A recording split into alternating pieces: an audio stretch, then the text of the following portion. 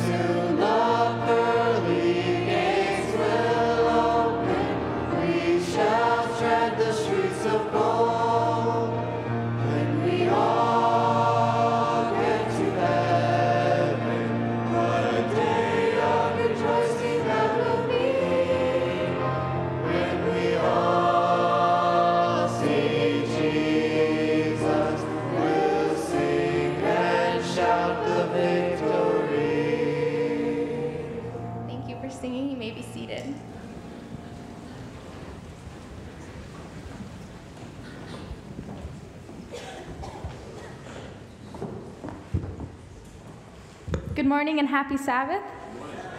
My name is Emily Atencio, and I'm the junior class president, and I'd just like to extend a warm welcome to you on this beautiful Sabbath morning. Please bow your heads with me as I pray. Dear Heavenly Father, thank you for this day. Thank you for giving us this opportunity to come here and worship. Please gain, help us to gain a blessing and help us to use all of our talents to glorify you. In your name I pray, amen.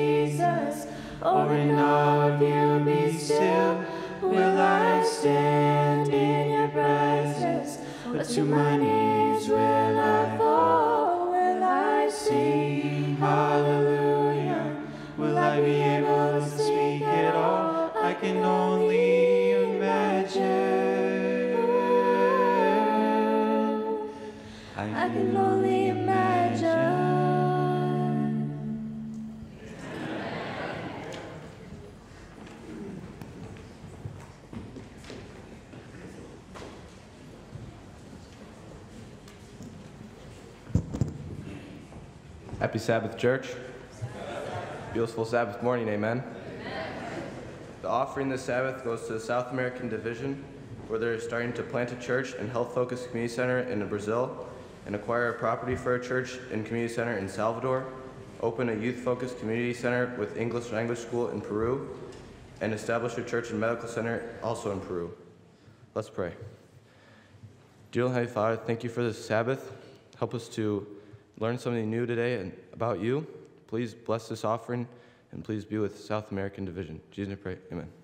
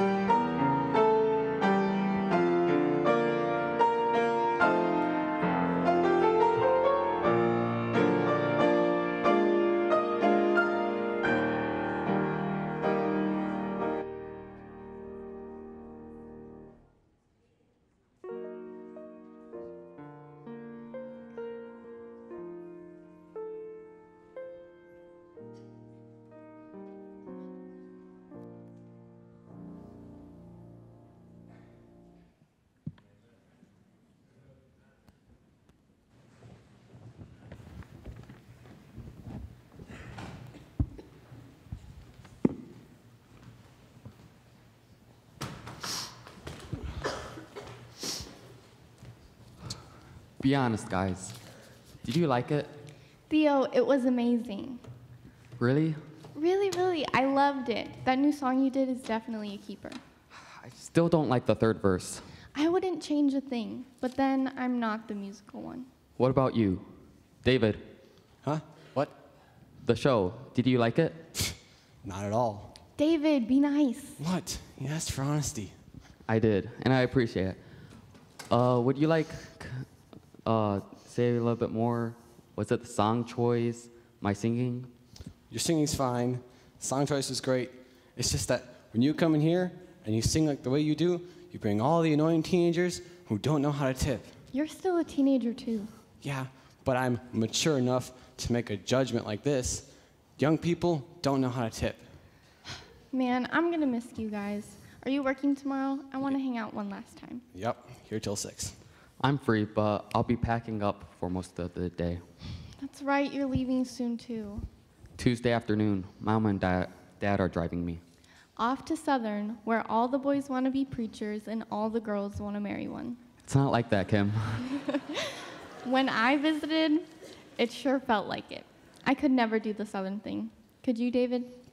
Yeah, college isn't for me either.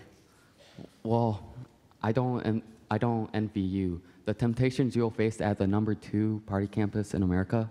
That's not an invitation for trouble, Theo. It's a call to missions to spread the gospel from the sociology building to the co ed dorms and every place in between. I'm sure you'll find time for both Sociology and co ed dorms. evangelism and trouble. Like you won't cheat curfew for some late night Taco Bell runs. A creative artist needs fuel in the wee mornings, the wee hours of the morning. Was he supposed to eat? Grapes? So long as you get what you want of that, out of that school, I don't see any harm. I've been praying about going, where to go to college for years now. Yeah, since sixth grade. Totally not an obsession. I just want to be sure about God's calling in my life. Yeah, you sure did. I've never seen someone struggle so much about one decision. Neither did I, which is why I took the path I did. Into the secular world full of heathens and sinners. To the best law school in the state. When some wise guy decides to pass a bill that you can't sing songs about Jesus anymore, you'll want someone on the other side who can help you. Yeah, lawyers for Jesus. Still an oxymoron. Are you gonna let him talk to me like that? He has a point. Your legal fees just went up. Promises, promises. You know I'm joking, right, Kim? I sure hope so. Yeah, I am, I am. A lot of prayer went into both of your decisions, and I know you'll both be successful. As will you. yeah, at the rate I'm going, I'll still be an ice cream server when our 10 year reunion hits. God's got a plan for you. You'll find it. I don't know about that. Why not? Well, the way I figure it, some people were meant to lead, others to follow. You were called to lead people to God in worship, you were called to defend the faith. Me, I'm just the guy that makes sure ice cream doesn't melt. That's not true. No, it is, and it's okay. I already accepted that I'm not one of God's elite. There's no such thing as an elite Christian. We're all called to serve. Yeah, so say the megachurch preachers and their self help books. So says the Bible. Not my Bible. Last time I checked, we used the same translation. Theo's right, David. God's calling isn't for a privileged few, it's a privilege we all share. A privilege? It's too much responsibility. We've been given a gift that we can never earn on our own. God saved us from sin, and it's our responsibility to share that with everyone else. Well, hey, you, maybe you guys are right. You're the experts on this. But until God calls me, I'll leave all the heavy lifting to you guys. You could also pray about it. I suppose, but I'm in no hurry. I mean, what if God calls me to Africa? Okay, Mr. Melodrama, have it your way. I'm just saying. Here, have this. What's this? Uh, just a little something. Oh boy, not a Bible study, is it? On First Peter, Oh boy. You know, how long have you had this? Three years. Well, I would hate to separate the two of you. No, no, take it. Whenever a time comes where you need to find what God says about your calling, read it. I appreciate it, Theo. No problem. Ready to go? Yep. Promise you'll hang out tomorrow night. What possible conflicts could I have? Good. We'll see you then. All right, bye guys. See ya. Bye.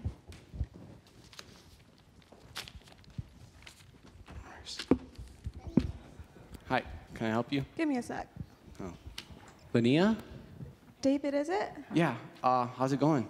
Oh, it's going. Oh. Can I get a, let me see, a small vanilla cone, please? Sure. Anything to go with it? no, I think that's enough fat grams for today. Okay, 347. Been working here long? Yep, since January. Hmm. How do you like it? Well, I'm not going anywhere this fall, so take that for what it's worth.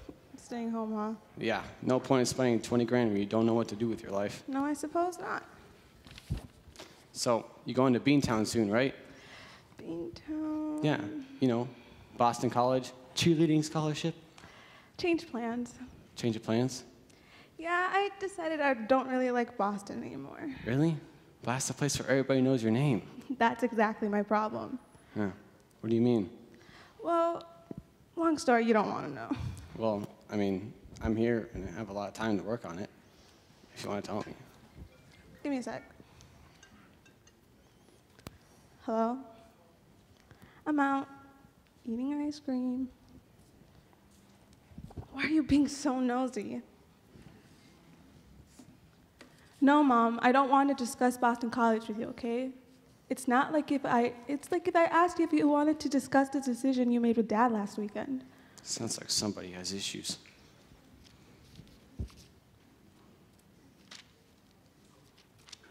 Well. High school's over, mom, okay? Like it's not like I'm to graduate college with a bachelor's in cheerleading or you know, become a cheerleading cheerleader.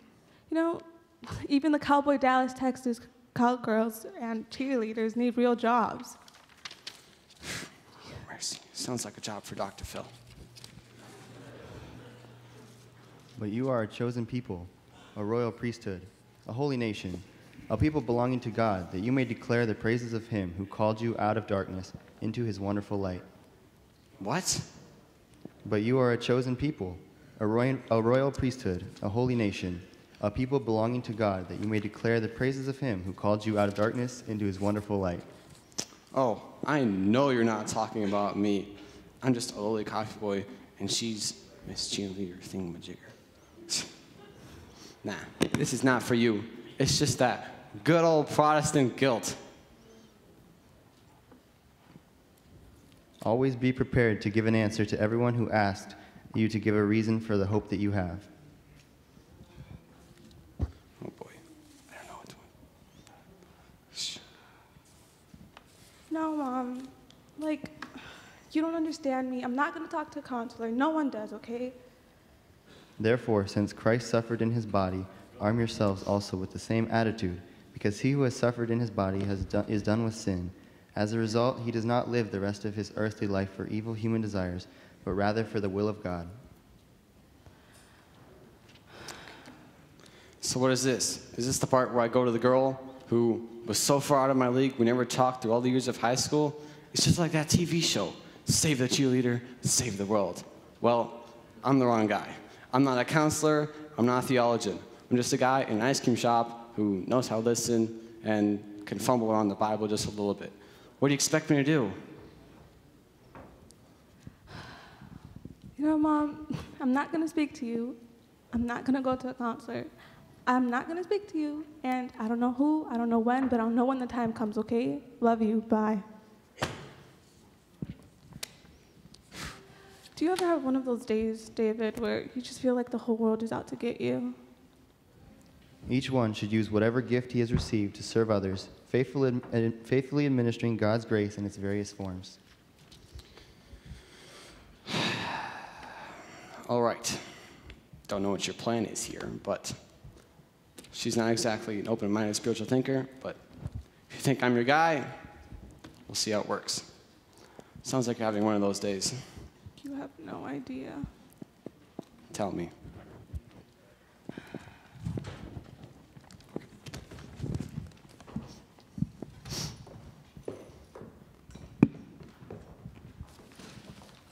Okay, while we set back up, I just want to say a few quick words um, about what we just watched.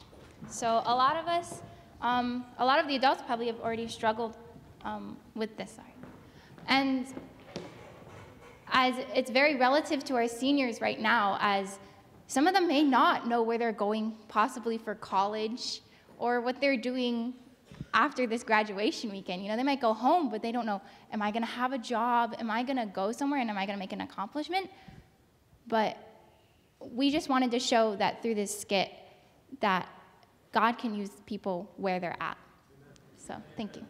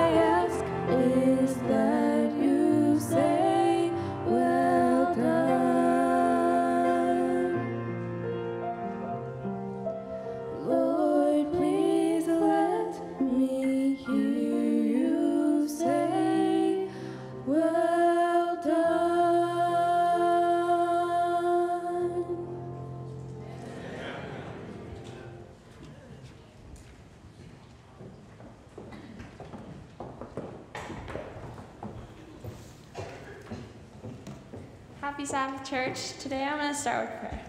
Let's our heads. Dearly Father, the you for today's day. Please be with Solana and I as we're doing Sabbath school. Please just help it to be your words, not ours. Thank you for the beautiful day that you've given us. Amen. Acts 13, verse 36 says, Now when David had served God's purpose in his own generation, he fell asleep. He was buried with his ancestors. Proverbs 19:21 says, "Many are the plans in the person's heart, but it is the Lord's purpose that prevails." Isaiah 46, verse 10 says, I make known the end from the beginning, from ancient times what is still to come. I say, My purpose will stand, and I will do all that I please. Romans 8:28 says, "And we know that in all things God works for the good of those who love him, who have been called according to his purpose." One of the most difficult decisions a person must make is what they are going to do with the rest of their life. Especially at this time in our lives, most people don't know what they're doing. They're not completely certain on what they want to do with their lives. Some people may think that a purpose and a calling are the same thing, but in reality, they are two very different aspects of your life. Your purpose is to be in a relationship with God. It is why he created you. Psalms 139, 13 to 14 says, For you formed my inmost being. You knit me together in my mother's womb. I will praise you, for I am fearfully and wonderfully made. Marvelous are your works, and I know this very well.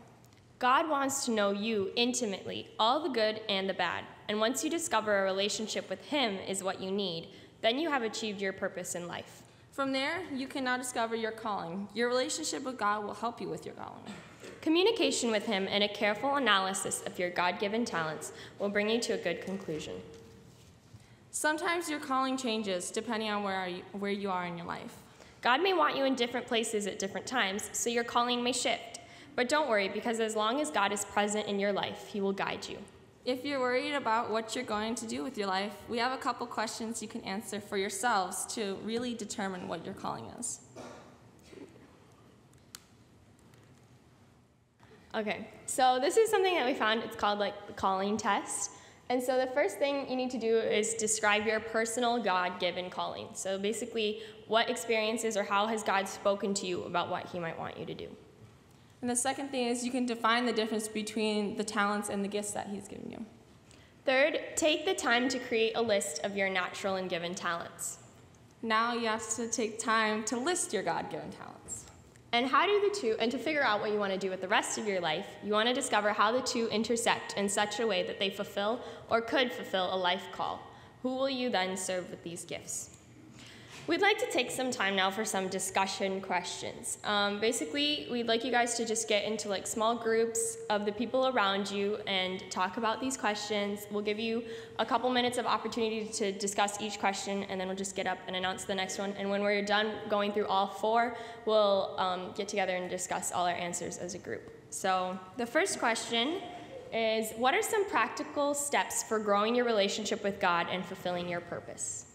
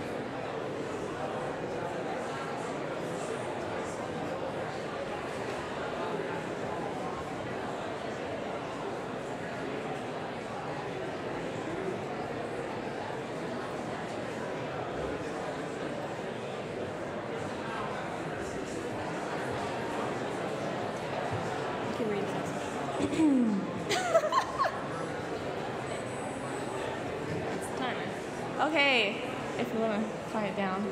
Our next question that we have for you guys is discuss Bible, or I guess not a question, discuss Bible characters who experience a calling moment in their lives. So let's just discuss that for a few minutes. And some of those examples are like Moses, David, Esther, Joshua. Just get to mind.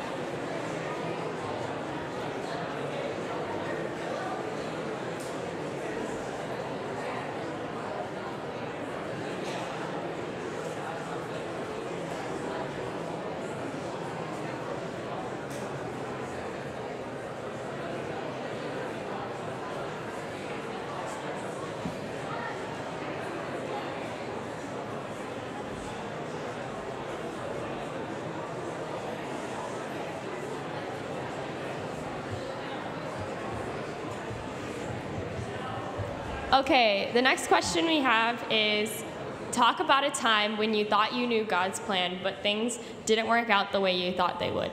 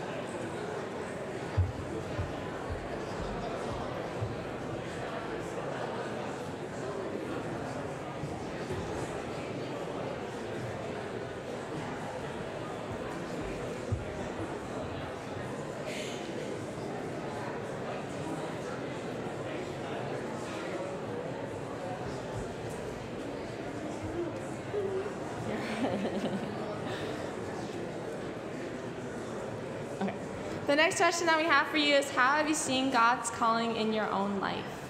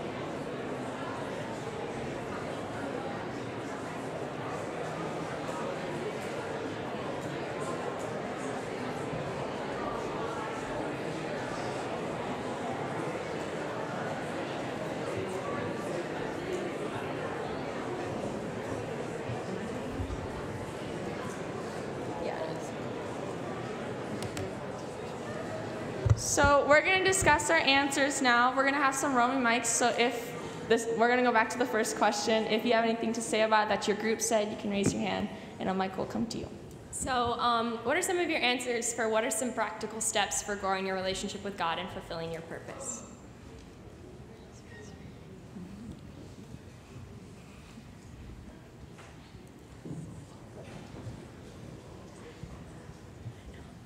The easiest thing to say is in any relationship, if you don't spend time, you're not going to grow your relationship. And so, one of the best practical steps for growing a relationship with God is prayer, is prayer and Bible study.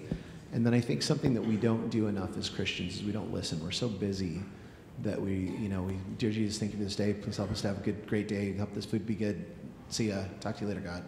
And then we go about our day, and and we don't we don't take the time to say, hey, God, um, give me a, you know, tell me what you want me to focus on today. Um, and and I think I think spending time asking God for guidance and then listening to what He has to say, looking for those answers.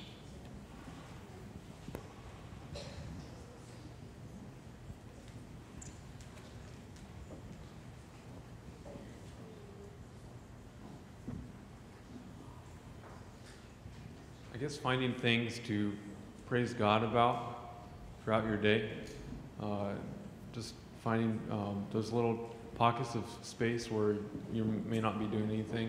At least that really helped me here at, at GLA was, um, well, working the farm. I had a lot of time where, you know, I was doing work, but I could think a lot. And so that was my time with God where I could just, I could just let him know what was on my mind.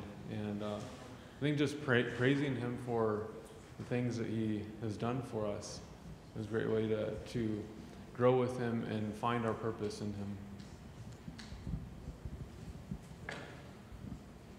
I think the first part is pretty easy, you know, personal personal Bible study, devotional time, church attendance, Sabbath school attendance, those sort of things. But when I think of that last statement there, fulfilling your purpose, you know, we're all meant to be missionaries.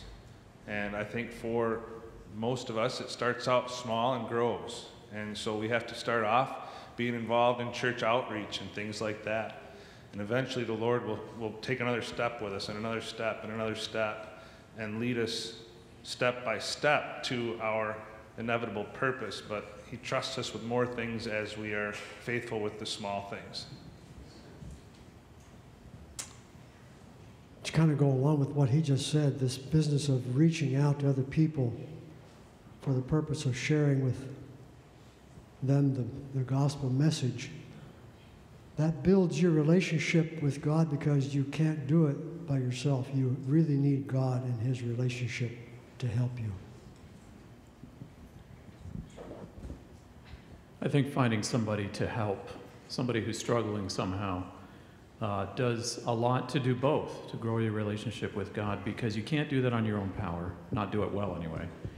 And certainly to fulfill your purpose, because in finding, uh, in helping others, you find uh, your purpose in God's will.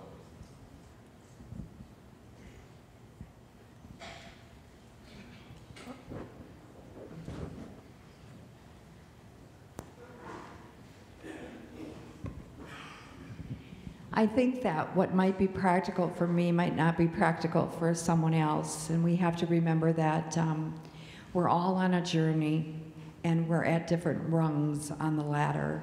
And God accepts us where we are. And when we think about practical, uh, a practical step for growth, we have to each individually decide what's practical for us and it's going to be probably different for everyone. I think a good thing to do might be to prayer journal. But, um, you know, and if you're used to praying only maybe a few times a week, try to step it up and pray every day a week and get closer to God. Any, anything we do to get closer to Him, He will bless us.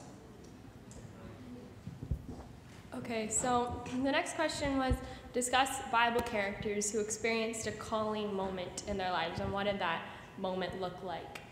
So,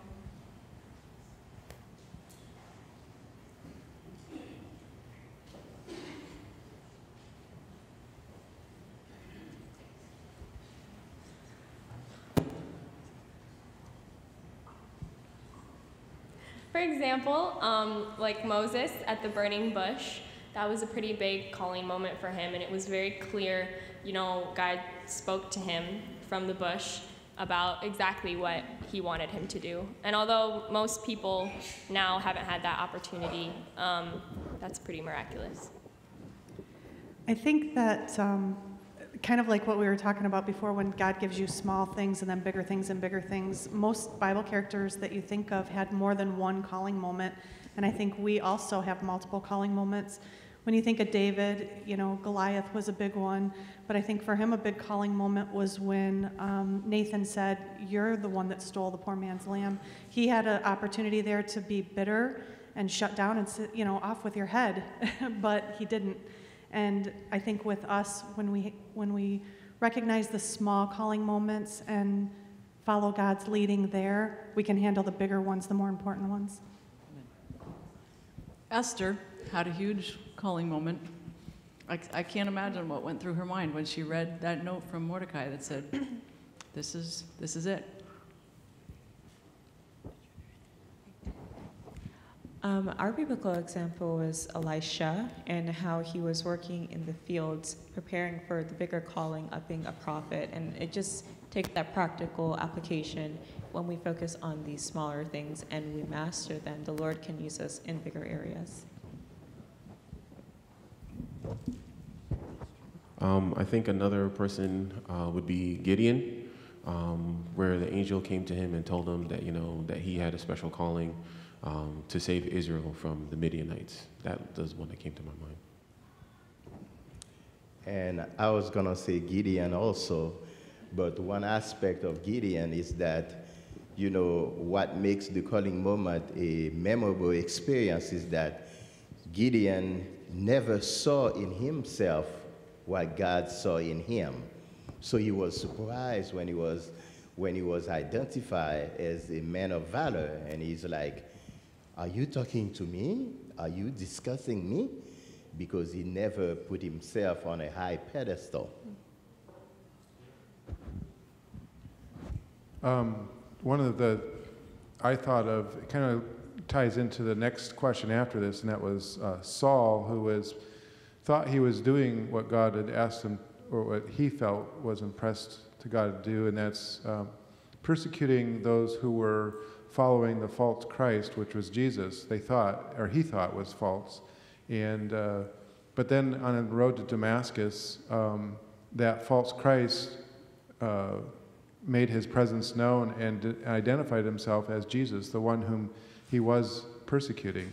So it was just interesting that that calling had changed, and it ties into the next question, I think, in a way that, you know, how, you know, when you think you're doing something that you're supposed to be doing and then realize that uh, you're not. And that was definitely a situation with Saul. I think of Mary. Mary was called to, to raise divinity. Um, and what her response was is just incredible um, to think that she was willing to take on such a huge responsibility and she did it with god's help. And, and each one of us um, that are parents are called to do the same even though our kids may not uh, be divinity for sure. But um, but it is an incredible calling to, to raise children, and um, Mary did it with such grace from the Lord. My, my son Benjamin um, was talking to me. He said, Dad, you need to talk about Jonah and uh, his calling. And uh, I thought that's an interesting, uh, interesting story. There was a comment um, earlier about uh, those that think they're called, but uh, t- to do things and then they, um, you know, realize that they need to make adjustments. Well, Jonah, you know, really has some challenges. And uh, for me personally, it reminds me that sometimes when we don't answer God's call the way we um, would initially have hoped we would, and we have those regrets, um, that God, God is, is more persistent. And I'm glad He's more stubborn than us, you know, and uh, He keeps working with us. And uh, He did that with Jonah, and uh, He does that with us. He, he has a way of bringing things back around, back around, and say, hey, how about this time? How about this time? And uh, that's our God. We're going to take the hands that are up right now, and then we'll move on to the next question. Yeah, I, yeah, everyone does get a calling. And in Matthew 19, uh, 16 to 22, it talks about the rich young ruler. And it's just a reminder that not everyone does accept the calling that God gives them, because it says in verse 21 if you want to be perfect, go sell what you have and give to the poor, and you will have treasure in heaven. And come, follow me. And the man, man heard that saying, and he went away sorrowful, for he had great possessions. And this to me, it's just a reminder that God gives us a choice. We can't accept the calling that He gives us, and we, we don't have to, but it shows how much He loves us. He doesn't force us to do, do He doesn't force us to do what He, he knows is right for us, because He does love us.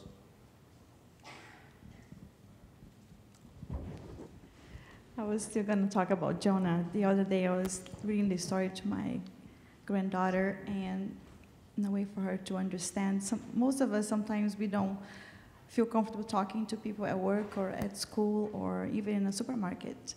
But if God tells you that that's what we need to, how to spread, spread the word, that's the way we need to do.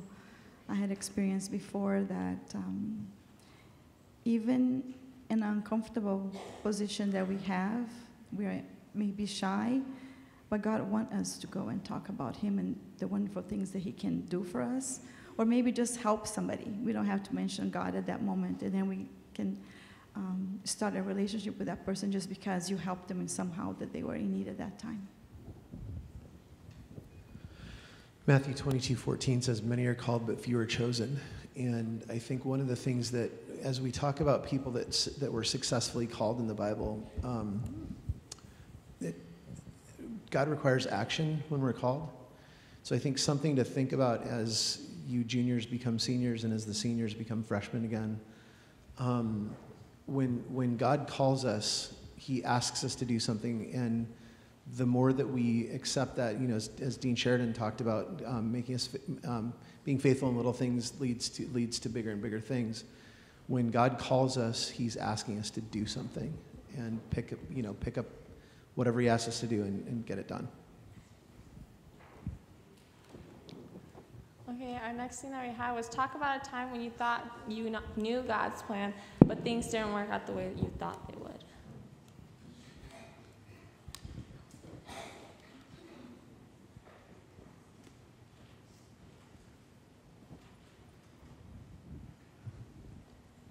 Well, I had to laugh when I saw this question because it felt like my life. Um, but we started off uh, as a line worker. I was line working in Grand Haven, and we felt the call to quit our job and go to Emmanuel Institute. And so that's what I did. And then, with no job, came home. And then the Lord called us to the Detroit area to Bible work, and we did that for a number of years.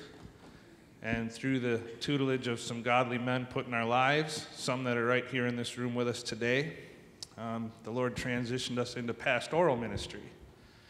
Well, then, we thought we'd reached the pinnacle of our ministry and He would just leave us there the rest of our life. We were pastoring a district right here in this area with some amazingly godly people in it, some of whom are in this room with us today.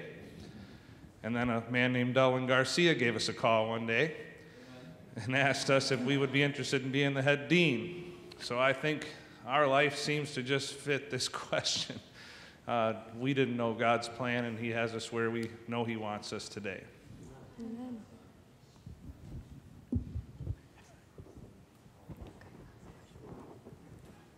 Okay, the last question is um, How have you seen God's calling in your own life? Um, I'm going to kind of just touch back on the other question, ladies, if you don't mind. Um, when Mr. Beal and I were married for five years, we thought we should have a family, and that meant doing the normal things that people would do to have families. And um, didn't realize that God had another plan. And so that other plan happened after we were married for 14 years when we went to China and and a little girl was placed in our hands. And I think that so often, even in the decisions that we think seem to be normal in our lives that we just can make on our own, that we have to really go to God with those because His plans are not always our plans, and we have to be open to that. But I think you all might agree that are here glad that you're kind of glad we went to China and got that little girl.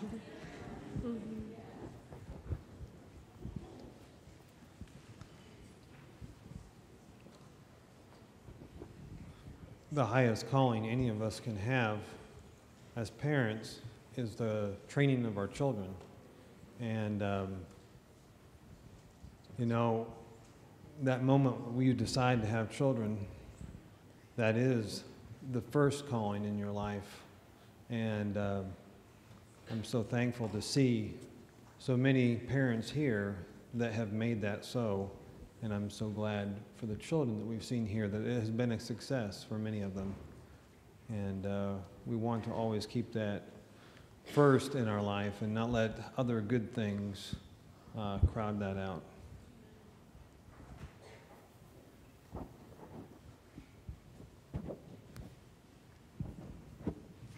Happy Sabbath. I think uh, we are the parents of the twin graduates, Patrick and Freddie. We come from Indonesia, long way coming here for the graduation, but want to share our experience in Indonesia. I myself am a nurse, and our children are doctors, medical doctors in Jakarta, a very, very big uh, city in Indonesia. But then um, uh, my husband and I uh, were um, work as a missionary in the very remote areas in uh, West Kalimantan, West Borneo areas. Uh, I think uh, we are being called by, by God to proclaim the, the truth, to bring the good message to the very, very remote areas there. And uh, in short, we started the clinic. We put up our own clinic, and uh, through the clinic, we reach out people not only through medical or health matters, but rather to, to spread the gospel. And in short, in these remote areas where there was non-Adventist member now has grown into 1,600 1,600 people. And then we built churches in very, very remote areas, in mountainous hill of Dayak areas there, around 10 churches. I think God has prepared us to prepare people wherever unreachable, unreachable and they have known the truth through our clinic missionary work. Praise God, we accepted this calling, and praise the Lord. We will be serving also, still until now, to the very, very remote areas in Borneo, in Indonesia. Thank you. Amen. We have learned a lot this morning about discovering your calling, and we want to end by sharing some verses and wisdom from the Bible. So Jeremiah 29, 11 says, you guys all know this, for I have the plan, for I know the plans I have for you, says the Lord.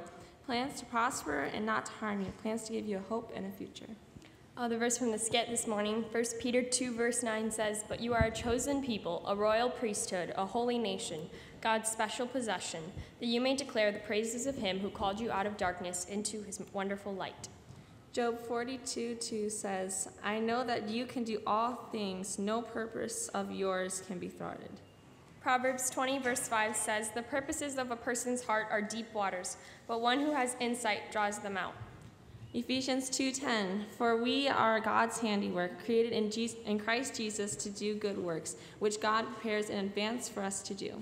And then the ultimate calling is Matthew 28, verse 18 to 20. Then Jesus came to them and said, All authority in heaven and on earth has been given to me. Therefore, go and make disciples of all nations, baptizing them in the name of the Father, and the Son, and the Holy Spirit, and teaching them to obey everything that I have commanded you.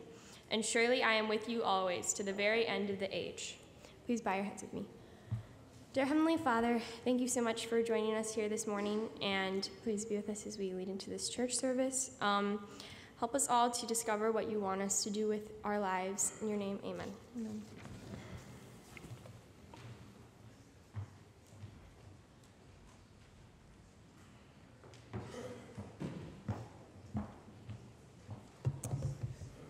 Thank you so much, juniors, for leading us this morning in Sabbath school and for calling us to be purposeful in doing God's will in our lives. We're going to spend a little bit of time this morning lifting up the name that is worthy to be praised, Jesus Christ. I invite you to take out your hymnals and turn to hymn number 248, Oh, How I Love Jesus. And why don't you stand and stretch your legs a little bit? 248.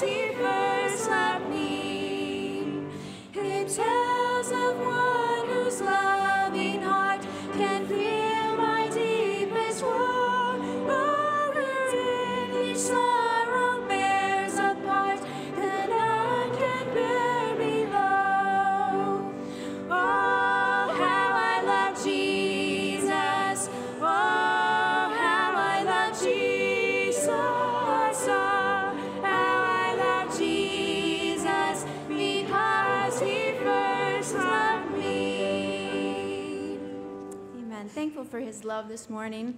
I had the love of dear friends this week. I had a busy week, as many of you did, I'm sure. And I was so blessed and thankful for friends who kept asking if I needed help. But I'm also so thankful because the Bible tells us we have a friend who sticks closer than a brother. Let's turn to hymn 186 I've found a friend. 186.